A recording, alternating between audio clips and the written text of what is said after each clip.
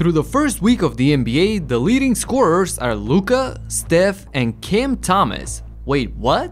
Thomas has started the season with 3 straight 30-point games and more impressively shooting a blistering 61.5% from the field. Cam actually forced Jacque Vaughn to put him in the starting lineup after going crazy off the bench in the season opener. As you look at some of these insane buckets, you already know that he's never seen a shot he didn't like, so he's letting it fly from everywhere and so far he's hitting it at a high rate. Now that he has the green light, it won't be strange to see a 50 piece from him this season. Next up, we got maybe my favorite guy on this list and that is Naz Reid.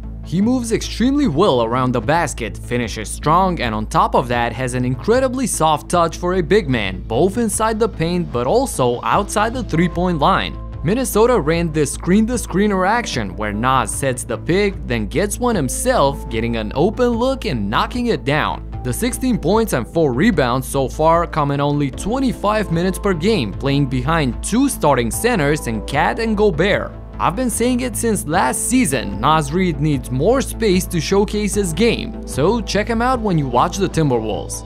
Now we got an underrated rookie who's being overshadowed by all the hype about Wembanyama and Chet Holmgren. The 12th pick in the draft, Dereck Lively had an impressive debut against Wemby in the season opener and Jason Kidd immediately inserted him in the starting lineup. The high-flying big man is a good screener and a quick roller to the bucket, so he's always in a position for something like this. Dereck Lively with the big finish. Okay, I see you, young fella. The Mavs ceiling with Powell or Kleber as the starting center is definitely not high, so I'm glad that the rookie got the opportunity early on to gain experience. Moving on to a guy that's putting himself in the most improved player conversation. Through these first 4 games, Jalen Johnson is going from 5.5 to 14.5 points per game, a huge jump both in numbers but also in his overall fluidity on the court. Jalen is terrific at attacking the basket and can finish through contact as you can see. His speed on the break allows him a bunch of easy ones as well, and opportunities like these are a big reason why at the moment he's 66% from the field. With 7 rebounds, 1 block and 1.5 steal per game, Johnson is showing that he's growing into an all-around guy that the Atlanta Hawks can count on. Next up, I already know that nobody watches the Pistons, but Jalen Duren has been bulldozing through everyone in these first few games.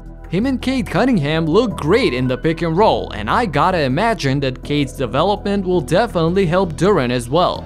This is another guy who might show up in the most improved category. So far, he's jumping from 9 to 15.5 points and from 9 to 13.5 rebounds per game. I know it's very early in the season, but this is promising.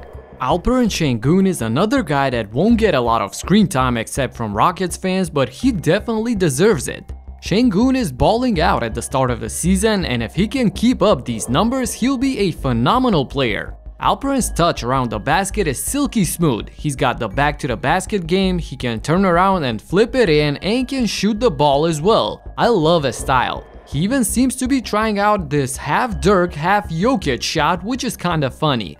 One of the best passing big men in the league constantly finds his teammates at the right time, putting him in a great position to score. The Rockets won't win a lot of games, but you need to follow Sengun's development. Now, I had to get another personal favorite in here, that is Devin Vassell. His game is just incredibly attractive to watch, reminding me of DeMar DeRozan a little. He can drive to the rim and has one of the prettiest mid-range pull-up jumpers. I mean seriously, this is a beautiful shot right here. Vassell did sign a monster contract this summer so the expectations will be high on him, but I think he'll definitely deliver. The way the Spurs are building this team, and of course if Wemby develops, I think that they can be in the playoff mix in 2 to 3 years. Let me know in the comments who you'll be following closely this season. Subscribe and talk to you in the next one. Peace out.